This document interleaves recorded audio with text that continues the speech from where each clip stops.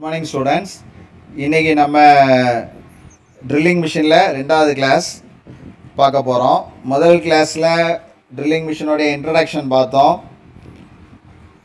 அந்த மிஷினுடைய பாடத்தில் உள்ள புக் பேக் கொஸ்டின் எல்லாமே என்ன செஞ்சோம்? குறித்து படித்தோம் அதில் ஒரே ஒரு த்ரீ மார்க் கொஸ்டின் மட்டும் துளையிடுதல் என்றால் என்ன? அப்படிங்கிற அந்த ஒரு கொஸ்டினை மட்டும் என்ன செஞ்சோம்? பார்த்தோம். இப்போ இன்றைக்கி கிளாஸில் ஒரு ட்ரில்லிங் மிஷின் வகைகளில் ஒரு டைப்பை பற்றி பார்க்க போகிறோம் என்னது அப்படின்னா மேடை வகை துளையிடும் எந்திரம். இங்கிலீஷில் என்ன சொல்லுவாங்க அப்படின்னா பெஞ்ச் ட்ரில்லிங் மிஷின் அது எப்படி ஏன் இந்த பேர் அப்படின்னா இது வந்து ஒன்று ஒரு பெஞ்சு மேலே வைக்கலாம். இல்லைன்னா ஒரு சின்ன மேடை மாதிரி கெட்டி ஒரு பில்லர் ஒரு மேடை மாதிரி ஒரு சப்போர்ட் மாதிரி கொடுத்துட்டு அதுக்கு மேலேயும் இதை என்ன செய்யலாம்? உட்கார வைக்கலாம். அப்படின்னா இந்த மிஷின் பார்க்குறதுக்கு எப்படி இருக்கும்? ரொம்ப சின்னதாக இருக்கும். ஒரு பெஞ்சு மேலே வைக்கிற அளவுக்கு இருக்குது அப்படின்னா இந்த மிஷினு ரொம்ப சின்ன மிஷின் அதனால தான் இதுக்கு என்ன பேர்? மேடை வகை துளையிடும் எந்திரம். இப்போ உங்களுடைய புக்கில் நீங்கள் பாருங்கள் புக்கை கையில் வச்சுக்கிடுங்க எப்போவுமே. பேஜ் நம்பர் அதாவது ரெண்டு புள்ளி ஆறு மேடையில் அமைந்த துளையிடும் எந்திரம். பேஜ் நம்பர் நாற்பது எடுத்துக்கிடுங்க. முதல்ல நோட்ஸை பார்ப்போம். பார்த்துட்டு அந்த மிஷின் எப்படி வேலை செய்யுதுங்கிற அந்த ஒரு வீடியோவை என்ன செய்வோம் நம்ம பார்ப்போம். நோட்ஸை நடத்திட்டு அதை பார்த்தீங்க அப்படின்னா உங்களுக்கு அது இன்னும் நல்லா என்ன செய்யும்? புரியும். இப்போ முதலாவது பாருங்கள் நமக்கு ட்ரில்லிங் மிஷினாக என்னென்னு தெரியும். துளை போடுவதற்கு பயன்படுத்தப்படக்கூடிய எந்திரம் தான் எனது துளையிடும் எந்திரம். அதில் ஃபஸ்ட்டு மிஷினு மேடையில் அமைந்த துளையிடும் எந்திரத்தை பற்றி படிக்க போகிறோம் அதுக்கு இன்னொரு பேர் என்னவா? நுணுக்க துளையிடும் எந்திரம். அந்த நுணுக்க அப்படிங்கிற வார்த்தைக்கு இங்கிலீஷில் என்ன சொல்லுவோன்னா? சென்சிட்டிவ் இவன் பெஞ்சு ட்ரில்லிங்னு சொல்கிறது மேடையை தான் சொல்கிறான் ரைட்டா நுணுக்கு அப்படின்னா என்னென்னு சொல்கிறோம் சென்சிட்டிவ் ட்ரில்லிங் மிஷின் அப்படின்னு சொல்லி இதுக்கு ஒரு பெயர் உண்டு. இந்த ட்ரில்லிங் மிஷின் நம்மளோட ஒர்க் ஷாப்பில் இருக்குது அதனால் நீங்கள் எல்லாருமே என்ன செஞ்சுருப்பீங்க? அதை பார்த்துருப்பீங்க. பொதுவாக ட்ரில்லிங் மிஷின் எப்படி வேலை செய்யுதுங்கிறது உங்களுக்கு தெரியும். பனிப்பொருளை பிடிச்சிருப்போம். அந்த சுவிட்சு போட்டோன்னே அந்த ட்ரில் பிட் என்ன செய்யும்? சுத்தம். அதில் கைப்பிடி ஹேண்ட் வீல் இருக்கும். அந்த கைப்பிடியை வச்சு அப்படியே நம்ம என்ன செய்வோம்? எவ்வளோ ஆழத்துக்கு போடணுமோ அவ்வளோ ஆழத்துக்கு என்ன செய்வோம்? போடுவோம். நமக்கு என்ன சைஸு தொலை வேணுமோ அந்த சைஸ் தொலை உள்ள ட்ரில் பீட்டு துளையிடும் அழகாக என்ன செய்வோம்? அதில் மாட்டி நமக்கு தேவையான ஆழம் அந்த ஆழத்துக்கு நம்ம என்ன செய்வோம்? அந்த கைப்பிடி சக்கரத்தை வச்சு அதை சுற்றி அந்த ஹேண்ட் வீலை வச்சு சுற்றி நம்ம என்ன செய்வோம்? ட்ரில் பண்ணுவோம். இது வந்து நமக்கு சாதாரணமாக இந்த ட்ரில்லிங் மிஷினோடைய வேலைகள் நமக்கு என்ன செய்யும்? தெரியும். இப்போ இந்த மிஷினுடைய அமைப்பு எப்படி இருக்குது அதோடைய பாகங்கள் என்ன? அப்படிங்கிறத நம்ம என்ன செய்ய போகிறோம் டீட்டெயிலாக படிக்க போகிறோம் இப்போ பாருங்க முதலாவது. மேடையில் அமைந்த துளையிடும் எந்திரமானது சிறிய பனிப்பொருளில். நம்ம ஆரம்பத்திலே சொன்ன இந்த மிஷின் என்ன? எப்படி இருக்குது சின்ன மிஷினு. அப்போ இதில் போடக்கூடிய துளையுடைய சைஸ் எப்படி தான் இருக்கும்? சின்ன சின்ன சைஸாக தான் இருக்கும். ட்ரில்லோட சைஸ் சின்னதாக இருந்தே பனிப்பொருள் எப்படி தான் இருக்கணும்? சின்ன பனிப்பொருளை மட்டும்தான் என்ன செய்ய முடியும்? இதில் பிடிக்க முடியும். அந்த சைஸ் என்னங்கிறத பாருங்கள் அதை அண்டர்லைன் பண்ணிக்கிடணும். ஒன் பாயிண்ட் ஃபைவ் மில்லிமீட்டர் முதல் ஃபிஃப்டீன் பாயிண்ட் ஃபைவ் மில்லிமீட்டர் அப்போ அதிகபட்சமாக நீ இதில் எவ்வளோ தான் ட்ரில் பண்ண முடியும்? பதினஞ்சு புள்ளி அஞ்சு மில்லிமீட்டர் தான். அதுக்கு மேலே தொலை போடணும் அப்படின்னா இந்த இயந்திரத்தில் போடுவதற்கு உண்டான வசதி கிடையாது.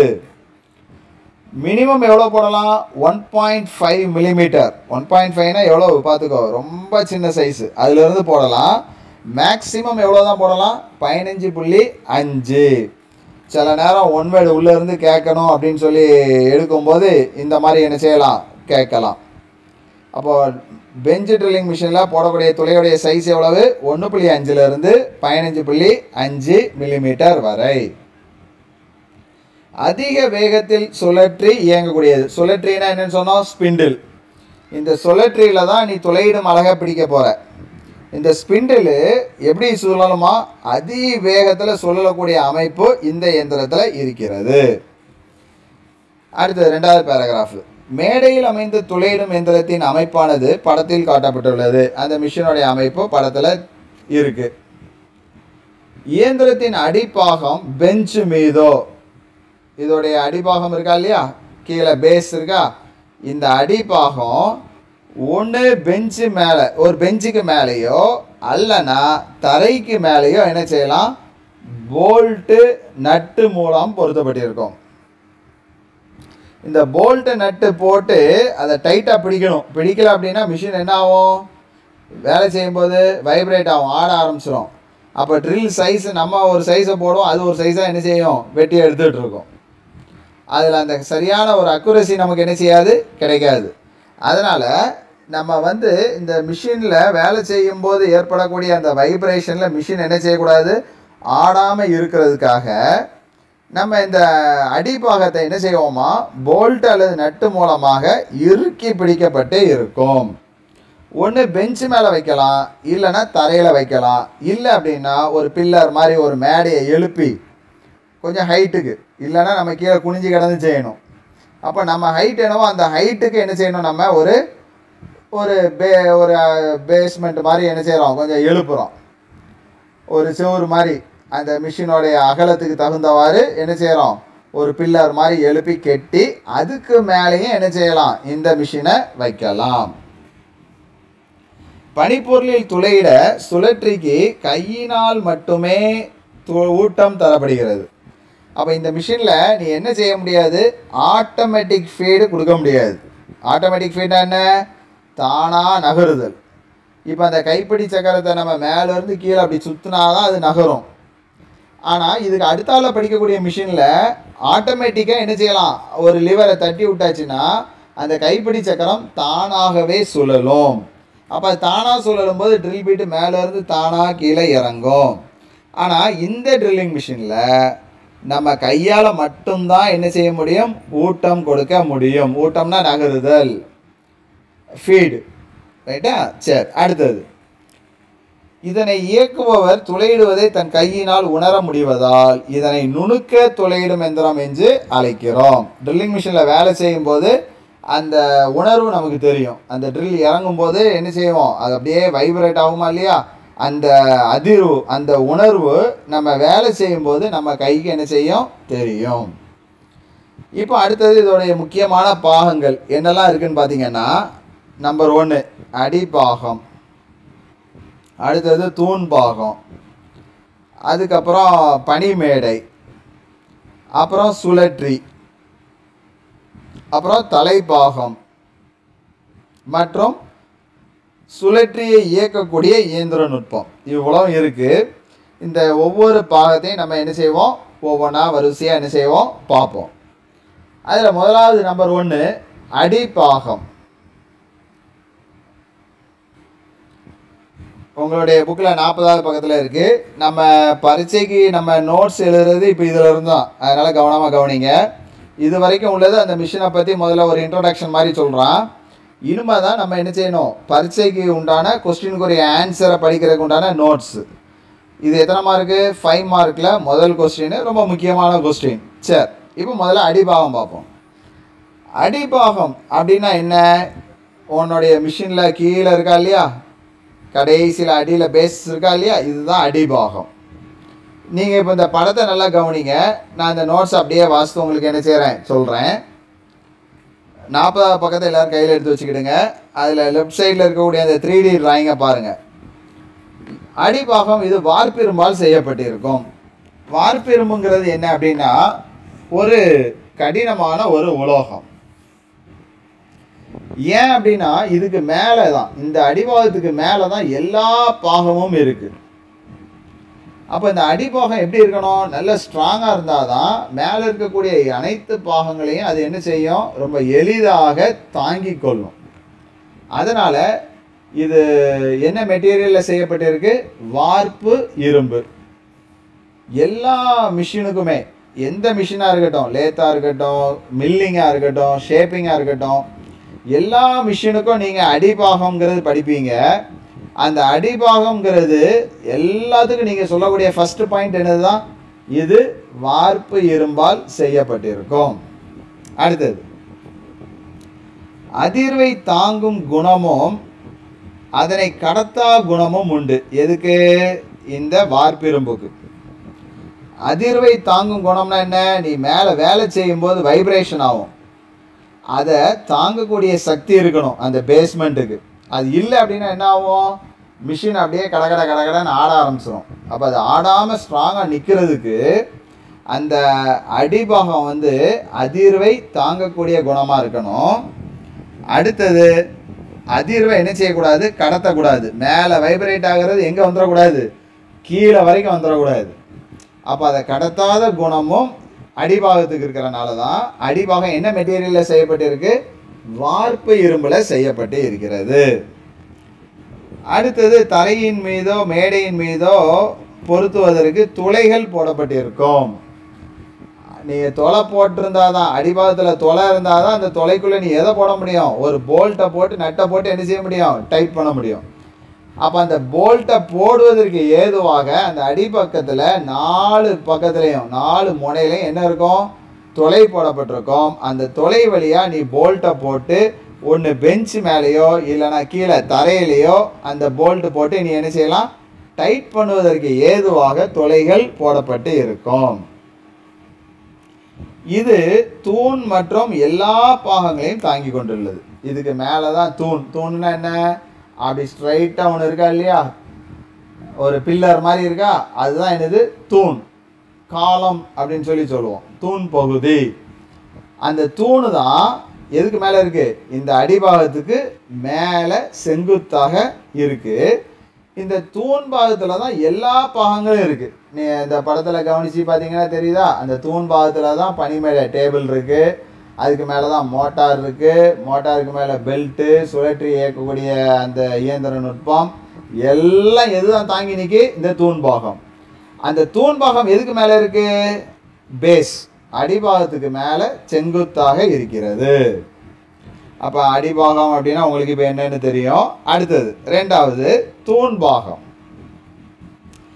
இப்போ அந்த தூண்பாகத்தை சொல்லும்போது என்ன சொல்லுவேன் தூண்பாகம் எங்கே இருக்குது அடிபாகத்துக்கு மேலே இருக்குது இதுதான் எல்லாத்தையும் தாங்கி நிற்கி இவ்வளோதான் இதை தான் நோட்ஸில் சொல்ல போகிறோம் இப்போ நாற்பதாவது பக்கத்தில் இந்த தூண்பாகத்தை பாருங்கள் அதில் நோட்ஸை படிச்சீங்கன்னா தெரியும்.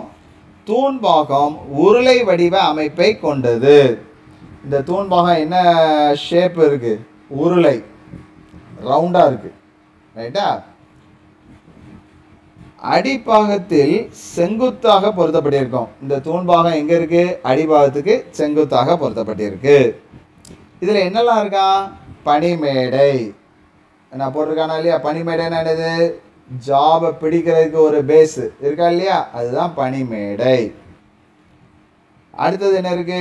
சுழற்றியின் தலைபாகம். சுழற்றியின் தலைபாகம்னா எது? இந்த கைப்பிடி சக்கரம் போட்டிருக்கானா இல்லையா? அந்த ட்ரில் பீட்டை உண்டான உண்டானதெல்லாம் மாட்டி வச்சிருக்காங்களா? இதுதான் சுழற்றியோடைய தலைபாகம். அதாவது இந்த டூ டி டிராயிங்கில் அந்த தூண் பாகத்துக்கு லெஃப்ட் சைடு மற்றும் மின்மோட்டார் மின்மோட்டார் எங்க எங்கே இருக்கு? ரைட் சைடில் இருக்கு. இது எல்லாத்தையும் எதுதான் தாங்கி நிற்குது இந்த தூண் பாகம் தான் தாங்கி நிற்கிறது. அப்போ ரெண்டு பாயிண்ட் படிச்சிட்டோம். அடிபாகமில் என்ன சொன்னோம்? வார் பெரும்பால் செய்யப்பட்டிருக்கும். அதிர்வை தாங்கும் குணமாக இருக்கும். அதிர்வை கடத்தாத குணம் உண்டு. இதுக்கு போல்டு நட்டை போட்டு பிடிக்கிறதுக்கு துளைகள் போடப்பட்டிருக்கும். இதுக்கு மேலே தான் தூண் பாகம் இருக்கும். அடுத்து தூண் பாகத்தை சொல்லும்போது என்ன சொன்னோம்? உருளை வடிவமாக இருக்கும். அடிபாகத்துக்கு மேலே செங்குத்தாக இந்த தூண் பாகம் பொருத்தப்பட்டிருக்கும். இந்த தூண் பாகத்தில் பனிமேடை சுழற்றின் தலைபாகம் மின் மோட்டார். இந்த மூணும் பொருத்தப்பட்டு இருக்கும். அப்போ தூண் பாகம் புரிஞ்சுக்கிட்டா? ரைட் அடுத்தது மூணாவது பனிமேடை. பனிமேடைன்னு என்னது? பனிப்பொருளை பிடிப்பதற்கு உண்டான ஒரு மேடை. இங்கிலீஷில் ஒர்க் டேபிள் அப்படின்னு சொல்லி சொல்கிறான் அப்போ அதில் தான் நம்ம என்ன செய்யணும்? ஜாபை வச்சு வேலை செய்யணும். அப்போ நம்ம ஜாபை நேராக அந்த பனிமேடைக்கு மேலே வைக்க முடியுமா? முடியாது. அப்போ பனிப்பொருளை பிடிப்பதற்கு ஒரு உபகரணம் வேணும். அந்த பனிப்பொருளை பிடிக்கக்கூடிய உபகரணத்தை தான் எதில் வைப்போம் நம்ம? இந்த பனிமேடையில் வைப்போம். அதில் தான் ஜாபை பிடிப்போம். அப்போ நம்ம லேத்து நம்மளுடைய ஒர்க் ஷாப்பில் நம்மளுடைய ஒர்க் ஷாப்பில் ட்ரில்லிங் மிஷின் இருக்கா இல்லையா? அதில் அந்த பனிமேடையில் நம்ம எதை வச்சு பனிப்பொருளை பிடிப்போம்? அதில் என்ன இருக்குது ஒரு வயசு இருக்குது எல்லாரும் பார்த்துருப்பீங்க. அந்த வயசில் தான் ஜாபை பிடிச்சு நம்ம என்ன செய்வோம்? ட்ரில்லிங் வேலை செய்வோம். இப்போ போன வருஷம் நீங்கள் லெவன்த்து படிக்கும்போது டுவெல்த்து அன்னைமார்கள் செய்கிறத பார்த்துருப்பீங்க. அந்த வயசில் ஜாபை பிடிப்பான் பிடிச்சிட்டு அவன் ட்ரில்லிங் வேலை செய்வான். அப்போ அந்த வயசு எதுக்கு மேலே இருக்குது அதுதான் பனிமேடைக்கு மேலே இருக்குது ஒர்க்கு டேபிளுக்கு மேலே அந்த வயசை பிடிச்சி வயசில் தான் ஜாபை பிடிப்போம். அப்போது இந்த வயசை சும்மா அப்படி தூக்கி அந்த பனி மே அந்த ஒர்க் டேபிள் மேலே வைக்க முடியுமா? வச்சனா என்ன ஆகும்? அங்கங்கே ஆடும் நகரும். அப்போ அது நகராமல் ஆடாமல் இருக்கிறதுக்கு அந்த பனிமேடைக்கு மேலே வயசை போல்ட்டு நட்டு போட்டு என்ன செய்யணும்? நம்ம டைட் பண்ணணும். பண்ணோமா இல்லையா? அதுதான் இப்போ நம்ம இதில் என்ன செய்ய போகிறோம் இந்த ஒர்க் டேபிளில் படிக்க போகிறோம் பாருங்க. பக்கம் நாற்பதில் மூணாவது பேராகிராஃபு பனிமேடை. பனிமேடை தூண் பாகத்தில் இணைக்கப்பட்டு தூண் பாகத்தில் தான் அந்த பனிமேடை இணைக்கப்பட்டிருக்கு. மேலும் கீழும் ஏற்றி இறக்கலாம். ஏன்? தூண் பாகம் உருண்டையாக இருக்குது இந்த பனிமேடையை அப்படி மாட்டக்கூடிய பகுதி அந்த ரிங் மாதிரி தானே இருக்கும். அது ஒரு உருளை தான். இதில் உங்களுக்கு சதுரம் மாதிரி கட்ட மாதிரி போட்டு காமிச்சிருக்கான். ஆனால் நேரில் பார்க்கும்போது அது எப்படி இருக்கும்? ஒரு ரவுண்டு ரிங் மாதிரி இருக்கும். அந்த ரிங்கில் இருந்து தான் என்னது வருது? அந்த பனிமேடை ஒர்க் டேபிள் வருது. அப்போ இந்த தூண் பாகத்தில் ஒரு சதுரமாக இருக்கா இல்லையா? அதில் ஒரு சின்ன லீவர் மாதிரி கொடுத்துருக்கானா? அந்த லிவரை நீங்கள் லூஸ் பண்ணினீங்கன்னா இதை என்ன செய்யலாம் அப்படின்னா இந்த ஒர்க்கு டேபிளை தூண்வாகத்தை சுற்றி என்ன செய்யலாம்? சுழற்றலாம். அது போக மேலேயும் கீழே என்ன செய்யலாம்? ஏற்றி இறக்கலாம். அப்போ ஒரு பொசிஷனுக்கு நம்ம அதை மேலே தூக்கணும்னா தூக்கிட்டு அந்த லிவரை டைட் பண்ணோம் அப்படின்னா அந்த தூண் பாகத்தில் அந்த ஒர்க் டேபிள் ஆனது கிரிப்பாக என்ன செஞ்சிடும் பிடித்து கொள்ளப்படும். இப்போ அதில் உங்களுக்கு நோட்ஸ் அதான் சொல்கிறாங்க தூண்பாகத்தில் இணைக்கப்பட்டு கையினால் மேலும் கீழும் கையால் தான் ஆட்டோமேட்டிக்காலாம் அதை எடுக்க சுத்த முடியாது. நல்லா கவனமாக கவனிச்சிக்கோ. கையால் மட்டுமே தான் என்ன செய்யணும் அதை நீ மேலேயோ கீழேயோ ஏற்றி இறக்கலாம். அடுத்தது இதில் டீ வடிவ பள்ளங்கள் வெட்டப்பட்டிருக்கு. எந்த இடத்துல? பனி மேடையில். இந்த டீ வடிவ ஸ்லாட் ஒரு மூணு டீ போட்ட மாதிரி காமிச்சிருக்காங்களா இல்லையா? எதுக்கு? அந்த டீ வடிவ பள்ளத்தில் தான் வயசை மேலே வச்சு டீ வடிவ போல்ட்டு அந்த போல்ட்டோடைய ஒரு சைடு எப்படி இருக்கும்னா டீ ஷேப்பில் இருக்கும். இன்னொரு சைடு உருளையாக இருக்கும். அதில் மரம் போடப்பட்டு இருக்கும். சாதாரணமாக நீங்கள் போன வருஷம் லெவன்த்தில் போல்ட்டு படிக்கும்போது படிச்சிருப்பீங்க. போல்ட்டோட தலைபாகம் அருங்கோணம் கொண்டதாக இருக்கும். நீ சா வெளியே நம்ம கடைகளில் வாங்குகிற போல்ட்டில் அதோடைய ஹெட்டு தலைப்பகுதி எப்படி இருக்கும்? எக்ஸகன் ஷேப்பில் இருக்கும். அருங்கோணத்தில் இருக்கும். ஏன்னா நம்ம அந்த ஸ்பேனரை போட்டு டைட் பண்ணுறதுக்கு வசதியாக அது எத்தனை ஷேப்பில் இருக்கும் அதோடைய வடிவம்? அருங்கோணத்தில் இருக்கும். எக்ஸகனல் ஷேப்பில் இருக்கும். ஆனால் இந்த டீ வடிவ போல்ட் எப்படி இருக்குமா? ஒரு சைடு டீ ஷேப்பில் இருக்குமா? ஏன் அப்படின்னா இந்த பனிமேடைக்கு உள்ளுக்குள்ளே அந்த டீ வடிவ ஸ்லாட்டில் அது போய் உள்ளுக்குள்ளே லாக் ஆகுறதுக்கு வசதியாக இந்த பனிமேடைக்கு மேலே டீ வடிவத்தில் பள்ளம் வெட்டப்பட்டிருக்கும். இந்த பள்ளத்துக்குள்ளே தான் அந்த டீ வடிவ போல்ட்டை போட்டு வயசை மேலே வச்சு நீ நட்டை போட்டு என்ன செஞ்சிருவ? டைட் பண்ணிடுவ ஏன் டீ போல்ட்டு போடுறோம் அப்படின்னா அந்த டீ ஸ்லாட் இருக்கா இல்லையா? அது நல்லா கிரிப்பாக இருக்கும். ஏறி வெளியே என்ன செய்யாது? வராது. அந்த கொக்கிக்குள்ளே மாட்டின மாதிரி அது என்ன செய்யும் கீழே? மாட்டிக்கிடும். அதுக்காக தான் டீ வடிவத்தில் பள்ளம் வெட்டப்பட்டு டீ போல்ட் மூலமாக அந்த பனிமேடைக்கு மேலே வயசானது பிடிக்கப்படுகிறது. அடுத்தது பனிப்பொருளை தாங்கி பிடிக்க டீ வடிவ பள்ளங்கள் வெட்டப்பட்டிருக்கும். பனிப்பொருளை தாங்கி பிடிக்க பயன்படுகிறது. ஒன்று வயசு இல்லாமல் பெரிய பனிப்பொருளாக இருந்ததுன்னா ஜாவை நேரடியாகவும் நீ என்ன செய்யலாம்? இந்த பனிமேடையில் பிடிக்கலாம். அப்படி இல்லைன்னா பனிப்பொருளை பிடிக்கக்கூடிய உபகரணத்தை ஒர்க் டேபிளில் மாட்டிட்டு அதுக்கு மேலே நீ ஜாப் என்ன செய்வ? வச்சு வேலை செய்வ. அதான் நோட்ஸில் எழுதியிருக்கு. இதை தூணின் வழியே நகற்றி பனிப்பொருளுக்கு ஏற்றவாறு தேவையான இடத்தில் நிலையாக அமைத்து கொள்ளலாம். அப்போ நீ ஜாபை ஒரு ட்ரில் பண்ணணும் அப்படின்னா ஃபஸ்ட்டு அந்த ட்ரில் பண்ணக்கூடிய இடத்துல மார்க் பண்ணியிருப்ப மார்க் பண்ணிவிட்டு அதில் ஒரு சென்டர் பஞ்ச் அடிச்சிருப்ப. போன வருஷம் பஞ்சு புள்ளி குத்தும் கம்பி அதோடைய வகைகள் நிறையா படிச்சிருப்பீங்க. அதில் ஒரு டைப்பு படிச்சிருப்பீங்க சென்டர் பஞ்ச் அப்படின்னு சொல்லி ஒன்று படிச்சிருப்பீங்க. ஆழம் புள்ளி குத்தும் கம்பி அப்படின்னு சொல்லி ஒன்று படிச்சிருப்பீங்க. ரைட்டா? அப்போ நம்ம இதில் ஜாபை மார்க் பண்ணிவிட்டு இதில் ஒரு சென்டர் பஞ்சை வச்சு என்ன செய்வோம்? அடிப்போம். எதுக்கு அப்படின்னா அந்த சென்டர் பாயிண்ட்டு கிளியராக தெரிகிறதுக்கு இப்போ நீ பனிப்பொருளை வயசில் மாட்டிட்ட ஆனால் ட்ரில் பிட்டுக்கு நேராக நீ என்ன செய்யணும்? சென்டரில் கொண்டுட்டு வர்றதுக்கு அதை அட்ஜஸ்ட் பண்ணுறதுக்கு நீ எதை அட்ஜஸ்ட் பண்ணுவியா? இந்த ஒர்க் டேபிள் இந்த பில்லரை சுற்றி ஒரு ரிங் மாதிரி இருந்தால் அதில் டே ஒர்க் டேபிள் வருதுன்னு சொன்னேன் இல்லையா? அதை மேலே கீழே ஏற்றி இறக்கி இல்லைன்னா இடப்பக்கம் வலப்பக்கம் அப்படி அப்படி நகர்த்தி நீ என்ன செய்யணும்? சென்டருக்கு கொண்டு வந்துட்டு அந்த லிவரை என்ன செய்யணும்? டைட் பண்ண வேண்டும். அதை தான் நோட்ஸில் சொல்கிறான் இதை தூணின் வழியை நகற்றி எதை ஒர்க் டேபிளை ஜாபுக்கு ஏற்ற மாதிரி தேவையான இடத்துல என்ன செய்யலாம்? அமைத்து கொள்ளலாம். அப்போ உங்களுக்கு அந்த மூணாவது பேராகிராஃப் புரிஞ்சிருக்கும். பனி மேடைனா என்ன? ஒர்க் டேபிள்னா என்ன? அது எப்படி இருக்குது அது எதில் இருக்குது அப்படிங்கிறதெல்லாம் உங்களுக்கு தெளிவாக தெரியும். கடைசி பேராகிராஃபு சுழற்றியின் தலைப்பாகம். சுழற்றியின் தலைப்பாகம்ங்கிறது எங்கே இருக்குது இந்த படத்தில் லெஃப்ட் சைடில் இருக்குது ரைட் சைடில் மின் மோட்டார் இருக்குது லெஃப்ட் சைடில் சுழற்றியின் தலைப்பாகம் இருக்குது நீங்கள் நாற்பதாவது பக்கத்தில் அந்த படத்தை நல்லா கவனிங்க. கவனிச்சிங்கன்னா உங்களுக்கு தெரியும். இது தூண் பாகத்தின் மேல் பகுதியில் பொருத்தப்பட்டுள்ளது.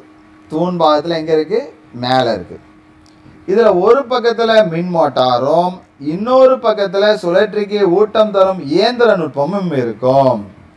இப்போ ஒரு சைடு பார்த்தீங்கன்னா மோட்டார் இருக்குது மோட்டார்லேருந்து ஒரு பெல்ட் மூலமாக என்ன டைப் பெல்ட்டு வி வடிவ பெல்ட்டு இருக்கா இல்லையா? இந்த லெஃப்ட் சைடும் ரைட் சைடும் கப்பி புள்ளின்னு சொல்லுவோமா இல்லையா? அந்த புள்ளியில் பெல்ட் மாட்டப்பட்டிருக்கு.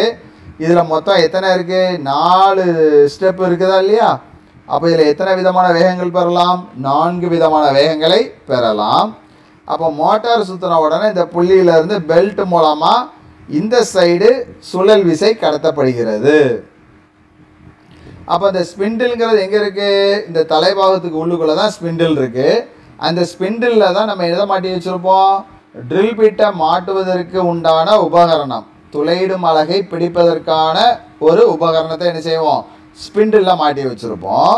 அப்போ ஸ்பிண்டில் சுற்றும் போது அந்த உபகரணம் சுத்தம். அதோட சேர்ந்து ட்ரில் பிட்டை என்ன செய்யும்? சுத்த ஆரம்பித்து விடும். ரைட்டா சரி ஒரு பக்கத்தில் மின் மோட்டாரும் மற்றொரு பக்கத்தில் சுழற்றிக்கு ஊட்டம் தரும் இயந்திர நுட்பமும் இருக்கும். மின் மோட்டாரிலிருந்து சுழற்றிக்கு சுழலும் விசையானது அடுக்கு கூம்பு கப்பி மூலம். இந்த மேலே இருக்கா இல்லையா? ஸ்டெப் ஸ்டெப்பாக இருக்கா இல்லையா? நாலு அடுக்கு இருக்கா? அதனால் இதுக்கு என்னது? அடுக்கு கூம்பு கப்பி மூலமாக சுழற்றிக்கு சுழல் விசை மின் மோட்டார்லேருந்து கடத்தப்படுது. நம்ம லேத்தில் படித்தோம் அதே மாதிரி தான் இதுலேயும். தட்டைப்பலினை மற்றும் சிறுபலினை அமைப்பு மூலம் சுழற்றிக்கு கையினால் ஊட்டம் தரப்பட்டு துளை போடப்படுகிறது. இந்த தட்டை மற்றும் குட்டி பல்லினை அப்படின்னு போன வருஷம் படிச்சிருப்பீங்க. இங்கிலீஷில் வந்து என்ன சொல்லுவாங்க? ரேக் அண்ட் பினியன் அப்படின்னு சொல்லி ஒரு கியர் வகைகளில் படிச்சிருப்பீங்க. ஸ்பர் கியர் ஹெலிக்கல் கியர் அதாவது நேர்பல்லினை நெளிவு பல்லினை அப்புறம் பெவல் கியர் சரிவு பல்லினை அப்படி படிக்கும்போது ரேக் அண்ட் பினியன் தட்டை மற்றும் குட்டி பல்லினை அல்லனா சிறு பல்லினை அப்படின்னு சொல்லி படிச்சிருப்பீங்க. இந்த தட்டை மற்றும் குட்டி பல்லினையுடைய சிறப்பு என்ன அப்படின்னா ஒரு தட்டை பல்லினைங்கிறது ஒரு ரெக்டாங்கிள் பிளாக்கில் சம இடைவெளியில் பற்கள் வெட்டப்பட்டு இருக்கும் அதுக்கு மேலே ஒரு சிறு பல்லினை என்ன செய்யும்? சுத்தம். ஒன்று இந்த பல்லினையை சுத்த விட்டா அந்த ரேக் ஆனது நகரும். அப்படி இல்லைன்னா இந்த ரேக்கை நகர்த்தும் போது அதுக்கு மேலே இருக்கிற தட்டை சு- குட்டி பல்லினை சுழலும். அப்போ தட்டை மற்றும் குட்டி பல்லினை எப்படி வேலை செய்யுதுங்கிறத நீங்கள் போன வருஷம் லெவன்த்தில் அந்த பல்லினைங்கிற பாடத்தில் நீங்கள் தெளிவாக என்ன செஞ்சுருப்பீங்க? படிச்சிருப்பீங்க. அதனால் உங்களுக்கு அது என்னங்கிறது தெரியும். இப்போது அது எப்படி நம்ம ட்ரில்லிங் மிஷினில் இந்த மிஷினில் அது எப்படி வேலை செய்யுது அப்படின்னா இந்த தட்டை பல்லினையானது செங்குத்தாக நிற்கும். இந்த குட்டி பல்லினை இருக்கா இல்லையா? இந்த குட்டி பல்லினையில தான் உன்னுடைய இந்த ட்ரில்லிங் மிஷினில் இருக்கிற அந்த கைப்பிடி இருக்கா இல்லையா? அந்த கைப்பிடியை வந்து அந்த குட்டி பள்ளினையில் மாட்டி வச்சுருப்பாங்க. அப்போ நீ இந்த கைப்பிடியை சுற்றும் போது குட்டி பள்ளினை சுற்றும் குட்டி பள்ளினை சுற்றும் போது அந்த தட்டை பள்ளினை மேலேயும் கீழேயும் ஏறி இறங்கும். அப்போ இந்த தட்டைப்பள்ளினை மேலே கீழே ஏறி இறங்கும் போது அந்த சுழற்றியானதும் மேலேயும் கீழே ஏறி இறங்குது. அப்போ நீ ட்ரில் பண்ணும்போது இந்த கைப்பிடி சக்கரத்தை சுற்றுவியா இல்லையா? சுற்றும் போது அந்த தட்டைப்பள்ளினை வழியாக அந்த சுழற்றியானது மேலேயும் கீழேயும் என்ன செய்யுது? சுழன்று கொண்டே ஆழத்துக்கு தேவையான அளவுக்கு கீழேயோ மேலேயோ என்ன செய்யும்? போகும். ரைட்டா அதை தான் அவன் நோட்ஸில் சொல்கிறான் தட்டை பல்லினை மற்றும் சிறு பல்லினை அமைப்பு மூலம் சுழற்றிக்கு கையினால். இதில் கையில் மட்டும்தான் என்ன செய்ய முடியும்? ஊட்டம் கொடுக்க முடியும். இந்த சுழற்றியானது நிமிடத்திற்கு ஆர்பிஎம். எவ்வளோ ஆர்பிஎம் சுற்றுதான் ஐம்பதுலேருந்து ரெண்டாயிரம் வரைக்கும். ஏற்கனவே இதோடைய ஆரம்பத்தில் பார்த்தோம். அதிவேகமாக சொல்லக்கூடியன்னு சொல்லி படித்தோமா இல்லையா? அப்போ எவ்வளோ ஆர்பிஎம் வரைக்கும் சுற்றுதான் டூ தௌசண்ட் ஆர்பிஎம். ஆர்பிஎம்னா என்ன சொன்னேன் ரெவல்யூஷன் பெர் மினிட் ஒரு நிமிஷத்துக்கு ஐம்பது சுற்றுலேருந்து ரெண்டாயிரம் சுற்று வரைக்கும் சுற்றுமா அப்போ ரெண்டாயிரம் சுற்றுங்கிறது ஒரு நிமிஷத்துக்கு ரெண்டாயிரம்னா பயங்கர ஸ்பீடாக என்ன செய்யும்? சுற்றும் அதனால தான் இது அதிவேகத்தில் இயங்கக்கூடியதுன்னு சொல்லி ஃபஸ்ட்டு இன்ட்ரோடக்ஷனில் இந்த மிஷினோட இன்ட்ரோடக்ஷனில் நம்ம என்ன செஞ்சோம்? படித்தோம் அப்போ சுழற்சியின் தலைபாகம்னா என்னங்கிறது உங்களுக்கு இப்போ தெளிவாக புரிஞ்சிருக்கும். இப்போ நம்ம அந்த மிஷின் எப்படி வேலை செய்யுது அந்த மிஷின் எப்படி இருக்கும் அப்படிங்கிற ஒரு வீடியோ என்ன செய்வோம்? பார்ப்போம். பார்க்கும்போது உங்களுக்கு இன்னும் நல்லா என்ன செய்யும்? புரியும். இப்போ முதல்ல இருந்து பாருங்க இந்த ட்ரில்லிங் மிஷினுடைய அமைப்பு. ஃபஸ்ட்டு பேஸ் கீழே. ஒரு ரெக்டாங்கிள் போடப்பட்டிருக்கா இல்லையா? இதுதான் என்னது? அடிப்பாகம். இது வார்பெரும்பால் செய்யப்பட்டிருக்கும். இதுக்கு மேலே தான் தூண் பாகம் இருக்குன்னு சொல்லியிருக்கோம். எல்லா பாகங்களையும் இந்த அடிபாகம் தான் என்ன செய்யுது? தாங்கி நிற்கிறது அப்படின்னு சொல்லி என்ன செஞ்சோம்? படித்தோம் இதுக்கு மேலே தான் என்ன வரப்போ போகுது? செங்குத்தாக தூண் பாகமானது என்ன செய்யும்? வரும். நம்ம தூண் பாகம்னு சொல்லுவோம். காலம் அப்படின்னு சொல்லலாம். பில்லர் அப்படின்னு சொல்லி சொல்லலாம். இந்த தூண் பாகத்தில் தான் என்ன பாகம்லாம் இருக்குது டேபிள். அந்த பனிமேடை இருக்கா இல்லையா? அந்த பனிமேடை தூண் பாகத்தில் தான் இருக்குது இந்த சுழற்றியின் தலைபாகம் மின் மோட்டார் எல்லாம் எதில் தான் இருக்குது இந்த தூண் பாகத்தில் தான் இருக்குது இதில் ஒரு லிவர் ஒன்று கொடுத்துருக்கா. அந்த லிவரை லூஸ் பண்ணிவிட்டு நீ என்ன செய்யலாம்? இந்த டேபிளை நீ என்ன செய்யலாம்? மேலிங்கிலையும் ஏற்றி இறக்கலாம். அடுத்தது இந்த தூண் பாகத்தில் வேண்டிய அளவுக்கு அதில் என்ன செய்யலாம்? சுழற்றலாம். அப்படின்னு சொல்லி நம்ம என்ன செஞ்சோம்? பார்த்தோம்.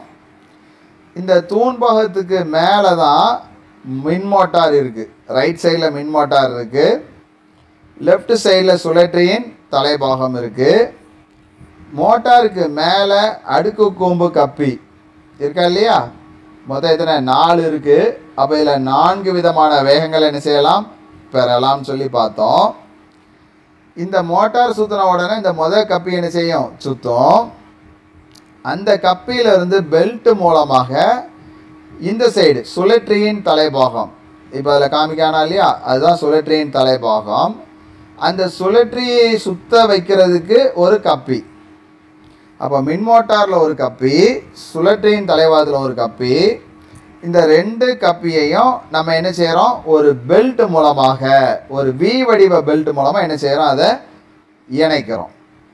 அப்போ சுவிட்ச் போட்ட உடனே மோட்டார் சுற்றும் மோட்டார் சுற்றின உடனே அந்த லெஃப்ட் சைடில் இருக்கக்கூடிய அந்த புள்ளியிலிருந்து இந்த சைடு ரைட் சைட்லேருந்து லெஃப்ட் சைடுக்கு அந்த புள்ளி வழியாக பெல்ட் மூலமாக சுழலும் விசை கடத்தப்படும். அந்த கப்பியில் சென்டரில் தான் ஸ்பிண்டில் இருக்குது அந்த ஸ்பிண்டிலில் தான் வெட்டுளியை அதாவது துளையிடும் அலகை பிடிப்பதற்கு உண்டான அந்த ட்ரில் பீட்டை மாட்டுவதற்கு உண்டான சக்கு ட்ரில் சக்கு இருக்குது அந்த ட்ரில் சக்கில் தான் இந்த ட்ரில் பீட்டை நம்ம என்ன செய்கிறோம் மாட்டி வச்சுருக்கோம்.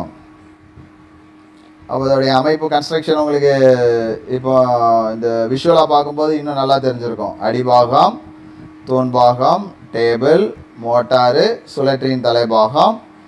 இந்த சுழற்றியுடைய இதில் ட்ரில் சக்கு இருக்குது ட்ரில் சக்கில் ட்ரில் பிட்டு அப்போ அந்த ஸ்பிண்டில் சுற்றணும் சுற்றினா தான் சக்கு சுத்தம் ட்ரில் பிட்டு சுத்தம்.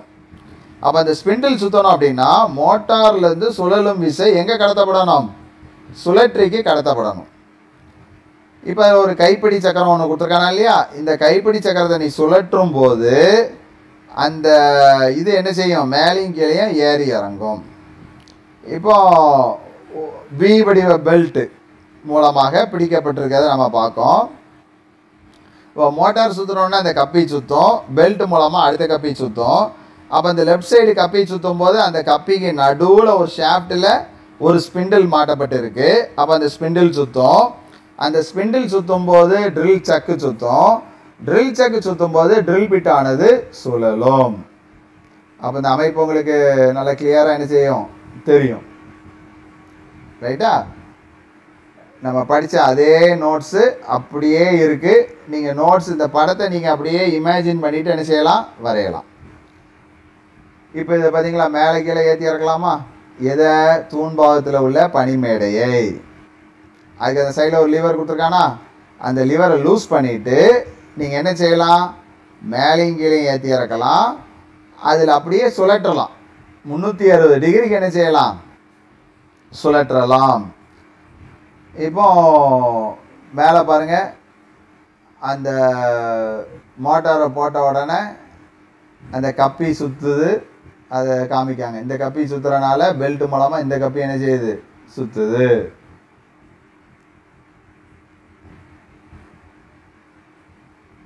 அடுத்தது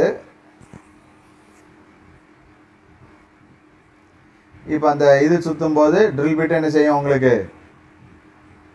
ஸ்பிண்டில் சுத்தம் ட்ரில் சக்கு சுத்தம். ட்ரில் சக்கு சுற்றும் போது எதுவும் சுத்தம்?